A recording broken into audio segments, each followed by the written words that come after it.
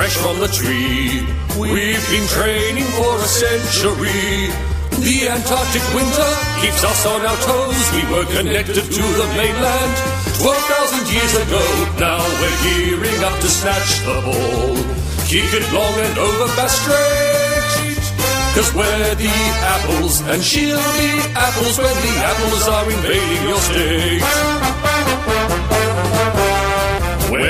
The apples, so give us a bite. The smaller the island, the bigger the fight. Apples might seem harmless to women and men, but apple pips are poisonous. If you eat enough of them, the spirit of Tasmania is sailing away. But we're the only team that wants you. From Cradle Mountain to the roundabout fountain, we're gonna take a bite out of